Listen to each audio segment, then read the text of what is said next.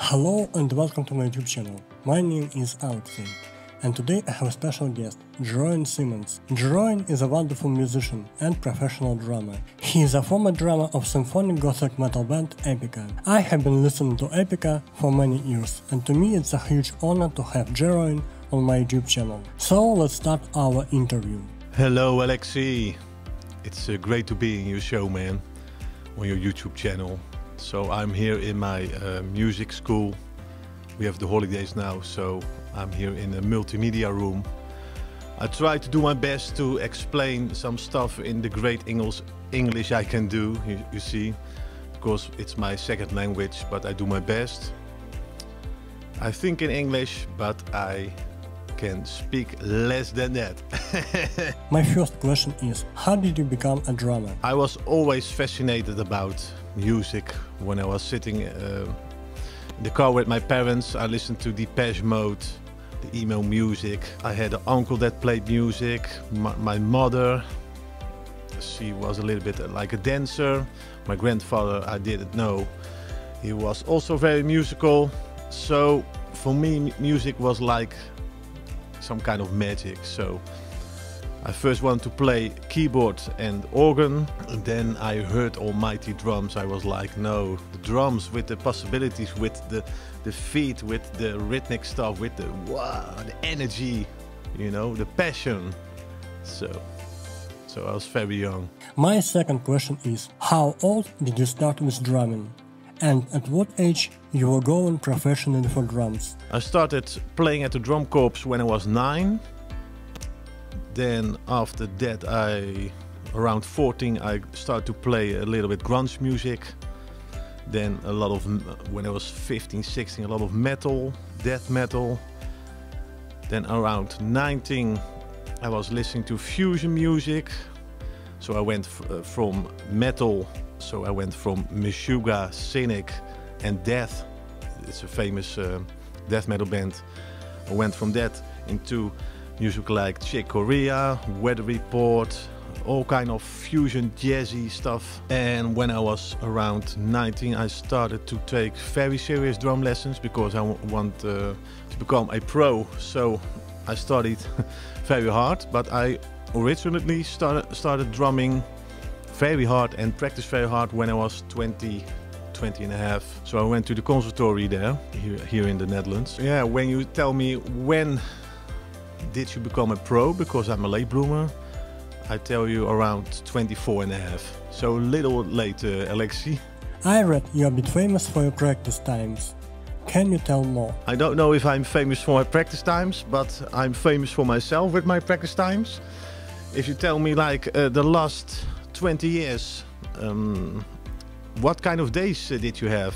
Then I tell you, yeah, practice, uh, reading, uh, all kind of uh, thinking about a lot of stuff, very creative, because that's the person that I am. I want to, how do you say, grow. The year before the High School of Music or the Conservatory of Music, I studied 10 hours a day. When I was at the conservatory, I studied around 4 5. When I was in Epica, I studied six, seven hours a day.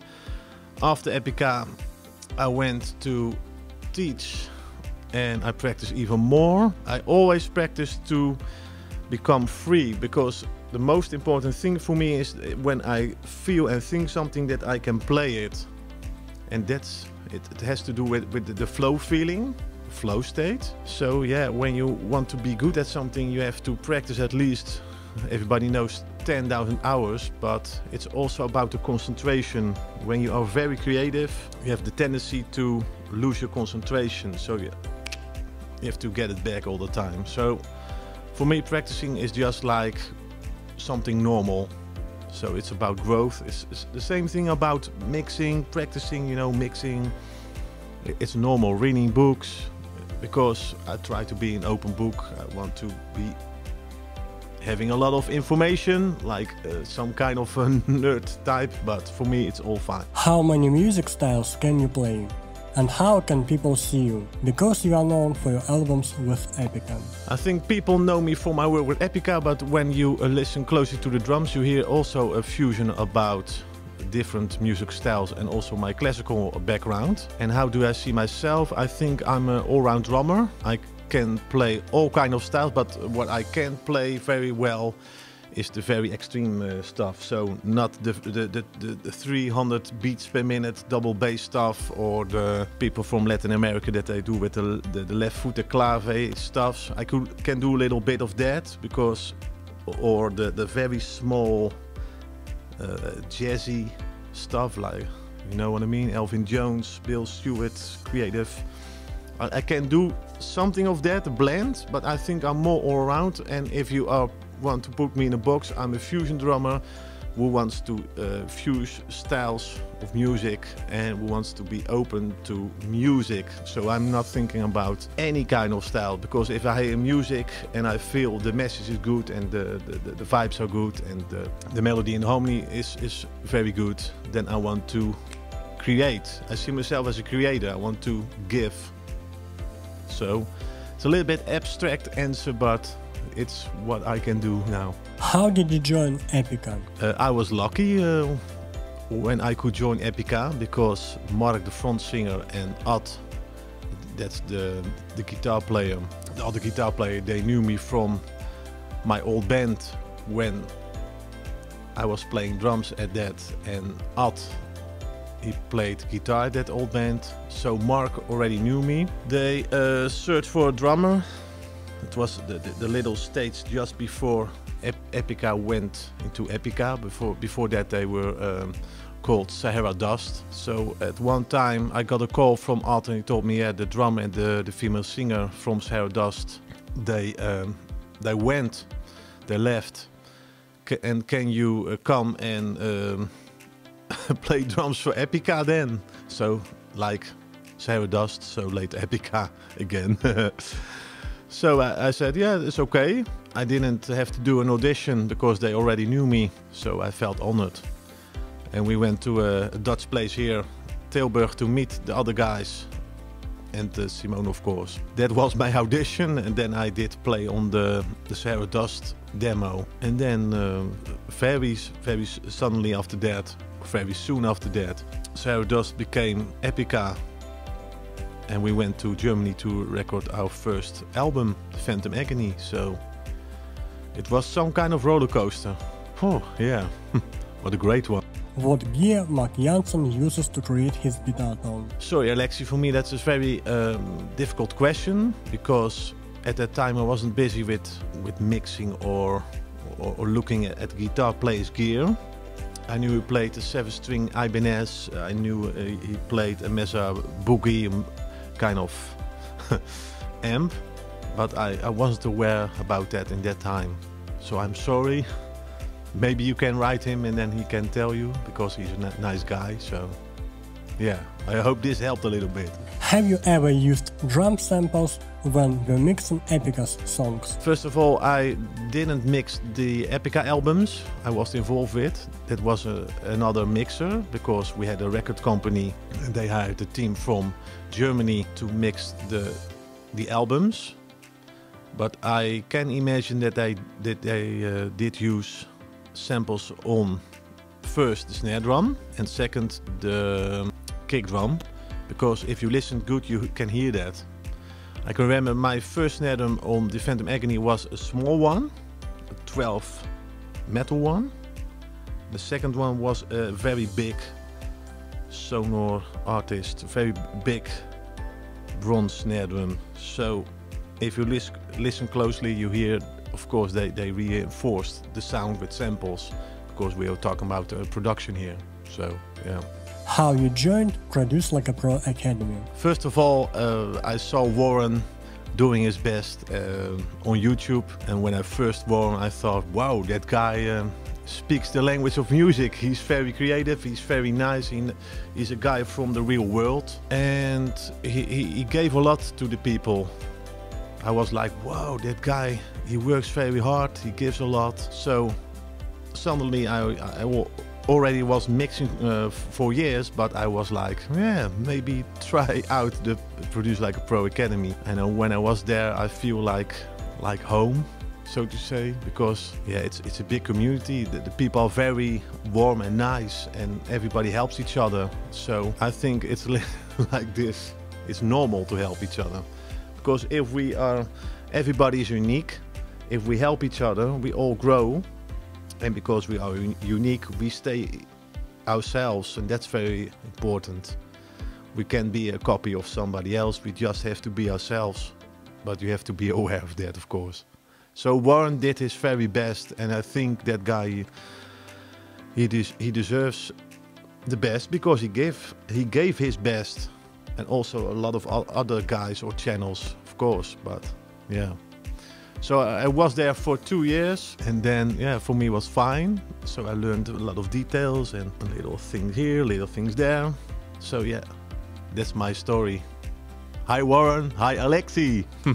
After working with Epica, what new info did you learn from Warren Huart at the Academy? I learned a lot from Warren, but I think uh, Warren didn't know that about me, of course. I learned a lot. I learned about details. I learned about uh, perfection, uh, production, uh, mixing tips and tricks. I think I learned a lot, like everybody does with Warren. It's about being open and wa wanting to learn and making a lot of progress and doing a lot of stuff I think there's no magic, but if you work hard and you want something, you feel inside yourself, you want something to create, then you can do it. What microphones Simone uses for tracking down her vocals? Oh, that's a difficult one. I remember the DVD We Will Take You With Us. Uh, Mark did use the Shure SM7. I thought Simone, Simone she used the Neumann TLM I can remember that. But it was Neumann, because our mixers were from Germany, Germany, so yeah, it was Neumann. Sorry, Alexey, I want to give you more info, but it's it has been a long time ago, so yeah. What are your favorite tips on drums recordings? First of all, my favorite tip is drink a lot of tea, English tea. My second tip is um, don't think too complicated about sounds. Just try to search for the basics first. And the basic is just the human being who is developed into a musical drummer with the technical stuff. And what is technique? Technique is the ability to do stuff that you hear in your head and transform into music. So you have to have technique. And so that means if you are a drummer, you have to have inner dynamics. Inner dynamics are the stuff that you play with the volume you can think about uh, like sliders on a, on a console or something or a mixer. So if you are playing rock or pop orientated beats, you have to have some balance with your, if you're a right-handed guy or girl, you have to have dynamics about the right foot and the left hand. Those two are dominant in the right hand, the light part, because the hi-hat is also high sound. It has to be more light. So if you are playing a rock beat, you want to have some power. Boom, boom. A lot of people they play like this. Too many force or power with the right hand. So they have to be aware like the the roles and the rules about creating a good sound. That's that's uh, officially my first tip. my second tip is tuning, listening to a lot of music styles, tuning, knowing about pitch, know about the rules of tuning, know about the, the room that you are in, know about the sizes that you, uh, the size of drums you are taking with to a session. Also, uh, what kind of drums do you take, for instance, to a, a, rock session or a power rock session, or you know what I mean? Like a Led Zeppelin, you don't show up with a um, 18 inch uh, kick drum and just think that they accept that but on the other hand, it's a little bit weird because um, I, I, had in the past do uh, have done some kind of funky rock song, and I just brought my 80-inch bass drum. And the studio that we were in, they were very analog based. So he, uh, the, the sound guy was like, "Whoa." that guy's uh, that guy of I hope that guy but the the kick drum that thing sounds huge. So it's also about playing big. You know what I mean? Uh, when, when I had uh, drum lessons from a fusion jazz drummer in my past, he told me like if you want to have a sound, you have to mean what you play. It's also very important. You have to play with your heart, with your soul. It's like telling a story, and if you play behind a small drum kit and you play softly, all right, all right, that's okay.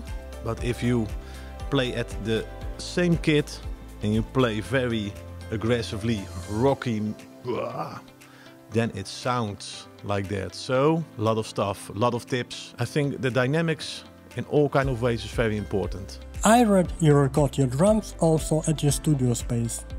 Can you tell me something about that? Yes, I record my own drums. I play uh, Dixon drums. I have 20, 22 inch kick drum. I have 10, 12, 14, 16. It's uh, a Dixon Cornerstone series. It's all maple. I have a 14 aluminium snare drum and a 12 side snare drum. Uh, the heads I'm using are Remo coated Emperors. Let me see, the, uh, what do I use more? The mics, I have to be detailed about that.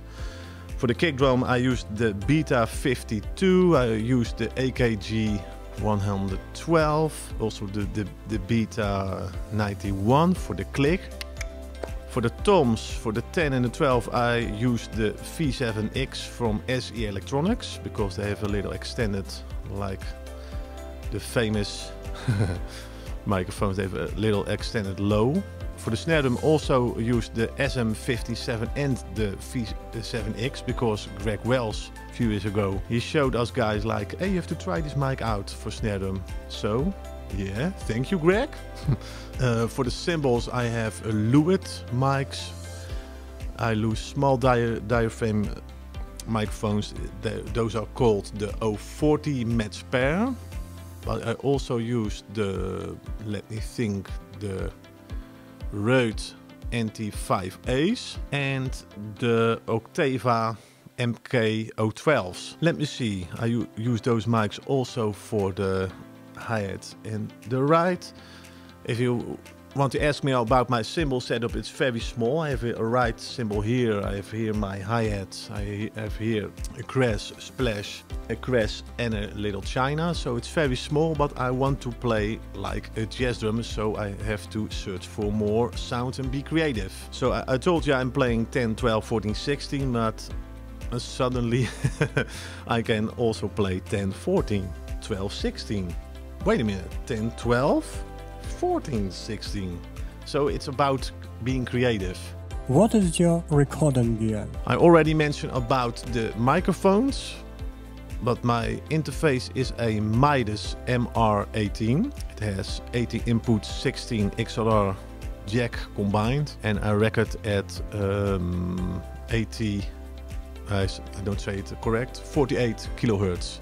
24 bit. And my DAW is Reaper. First I started with uh, Cubase, but after a while I did a project and I discovered Reaper and the, the possibilities with Reaper. They are almost endless, so I, I, lo I love the stability of that, so I re recorded Reaper uh, Midas MR18. What kind of endorsements do you have? Um, I have several endorsements. But nowadays they don't call it endorsement, they call it uh, promoter or artist. Let me first say I'm a promoter for Dixon Drums. I'm new with them. Thank you guys from Dixon Drums for this gym, for this opportunity. Uh, I'm a promoter for Dixon Drums. I'm an artist for the wonderful guys of PSP Audio Plugin. Thank you guys. Adam and all the guys, Anthony. Thank you, Pat6, for the endorsement. And nowadays, of course, being an artist for Balbex drumsticks. They're from Eastern Europe. And Amedia cymbals. Yeah, that's it. So um, for Dixon Drums, I'm the promoter, and for the rest, I'm the artist. I saw you wrote a drum book, a complex one. Can you tell me why you wrote it? Yeah, as I mentioned earlier, I studied a lot of drums. I practice a lot, and I have a lot of drum books or I had a lot of drum books, of course. And I always was curious about when I saw things. So I saw exercises. What can I change about that? So then you are going to write down when you when you came home. For example, you, you write down ideas. and little ideas become very big and bigger, bigger, bigger, bigger, biggest. And suddenly I had a booklet like this. So it was, for, um, if you tell me why did you wrote a complex one, for me uh, it was like being creative, being expand the horizons. How do you say that? Just being creative, uh, trying to be deep, trying to be intense, trying to yeah, trying to create something. It's about giving to the world, being creative. And first it started within myself, and then, like many artists, it started inside. Then you can bring it out. But it's a whole big process. So, but. it's fun to do and it's very rewarding because if you can let it out then suddenly you are at home and you think, hmm, I have my first drum book. Wow. What about the second? Because I now have a lot of ideas. Oh man. So, yeah. What's your best drumming with Epica sound like?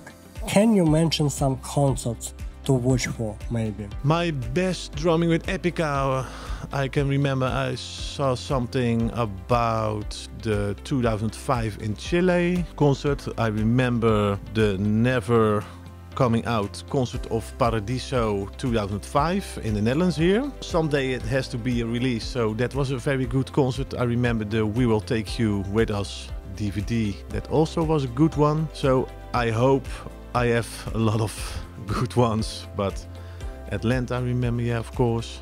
What are your goals for the future about your music career? Oh man, I have, I have a lot of goals because my music career is not only being a drummer or a studio drummer, although studio drumming in all kind of styles is my biggest passion, but nowadays I'm also very passionate about mixing music, producing people, helping people a lot of stuff. Also, try I try to be as good as I can uh, with techniques, drum technique, drum techniques, and, and being complex with some uh, kind of polyrhythmic stuff. And it's all about music. So if you ask me what do you want to become now in five years, I want to uh, grow further like I'm doing now. I want to become, I hope, a great producer, mixer, a drum uh, clinician, a studio drummer, a composer, and drum teaching is also helping people. So yeah, it's a lot of stuff. but I have the luxury that I have a lot of time, so I make my best out of it. Of course, I have goals, and those goals are sometimes too much. And it's all for me all about music, producing, mixing, studio drumming, teaching, writing books, also um, getting to know a lot of stuff from real life so to speak. Because I, I love to read about business, I love to read about philosophical stuff, about human behaviors, about, you know what I mean? So for me, uh, every day is one, one big uh, adventure. So I try to pull all the information towards me. What are your goals as a drum teacher? For me, uh, the goals as a drum teacher is to become better and better, of course, and also um, I want to um, I want to grow towards the new time. And what's the new time? It's the online drum coaching time. It's about being doing uh, online stuff, being a, servant for people. Just give a lot. Just uh, give a lot of examples. Being a drum clinician. You know what I mean? G giving a lot of information so first you take information, then you give it. Also, I love to uh, see my student as real people, and I love their stories. I love to see them as equal, and together we can grow to a higher state of being. How do you say that? Consciousness. You are a PSP audioware artist among many pro audio engineers. How do you see yourself? And what are your favorite PSP plugins? How do I see myself? First, I must say I'm very honored to be in the PSP family, PSP Audio family. Thank you, Adam, Anthony, and the rest. Secondly, how do I see myself? Yeah, I feel honored because I also have a very big passion about mixing and analyzing and creating with with sounds and you know what I mean? So how do I see myself? Yeah, I hope one day that I'm I can become as big as the rest of the PSP uh, audio artists. So I don't have a false ego or something, but I'm passionate about mixing also. So I do my best to become a great one. A great mixer also, I mean. And my favorite PSP AudioWare plugins. I love the PSP Infinistrip because you have a lot of stuff you can create and do and it's very intuitive, you know what I mean? Like, oh, I have to do a little compression here. I also have recently my own presets for that uh, great plugin. So, uh, but if you want an honest question, uh, or in my case, an, honest answer, I love all the stuff PSP are doing because I can see the guys they are doing at least 20 years it with care, and I feel lucky uh, to be alive right now because I can use their plugins to create. So how lucky can we be in 2021? So I love them all, and yeah, I love all all people. Nevertheless, because I'm a little bit hippie. Thank you so much, Jeroen, for such a great interview. It's a huge honor to talk to you. I wish you only the best about your music career. Alexey, I want to thank you for your um, questions. I want to thank you for asking me to do my stuff for you. I wish you my best and I hope you grow like everybody else and that you give a lot so that you can naturally take a lot back in a naturally way. And it's funny that that thanks to Warren that we met each other. So uh, thank you, Alexey. Also, thank you, Warren. And I wish you guys uh, a great time, good health, because it's a, it's a strange uh, time nowadays with the COVID. But let's stay positive. Let's be honest with within ourselves and what what we really want to create here on Earth. Thank you, Alexey. Thank you so much for watching and see you next time.